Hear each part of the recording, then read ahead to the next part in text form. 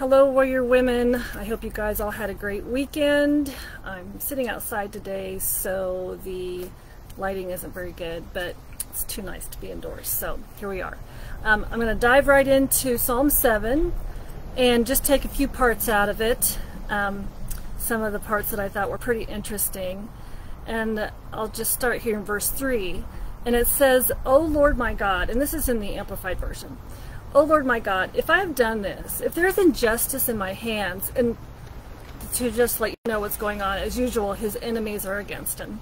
Um, if I have done evil to him who is at peace with me, or without cause robbed him who was my enemy, let the enemy pursue me or overtake me, and let him trample my life to the ground, and lay my honor in the dust. Well, I was, you know, how many of us could actually say something like that and not be afraid of God, you know, blasting us off the earth and just leaving, you know, a little pile of ash right where we were standing um, if we dared to say something like this. But here's David.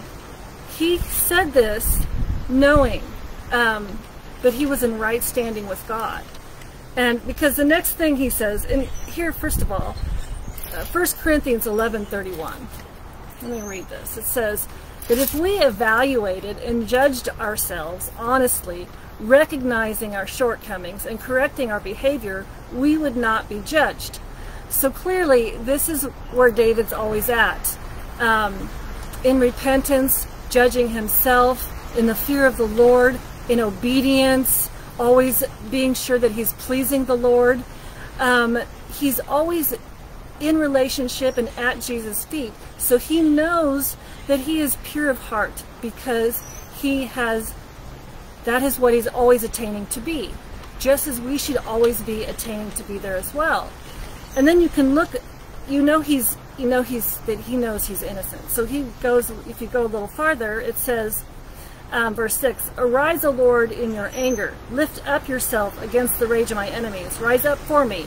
You have commanded judgment and vindication. He knows, again, he's in right standing. Verse 8, the Lord judges the people. Judge me, O Lord, and grant me justice according to my righteousness and the integrity that's in me. He knows that he has a pure heart because he is always judging himself lest he be judged. And this is, again, where we should always be. We should always be judging ourselves, examining ourselves, asking the Lord to reveal to us anything in ourselves that we might be blind to, because that happens a lot. We can be blind to maybe something that um, is going on in our lives that we really need to clean up and we need to correct. So um, something to think about. Are we in right standing? We need to come to Him, be in self-judgment, judging ourselves, examining ourselves, repenting, and coming clean before the Lord. You guys have a great Monday, and I'll see you next time next time with Psalms 8.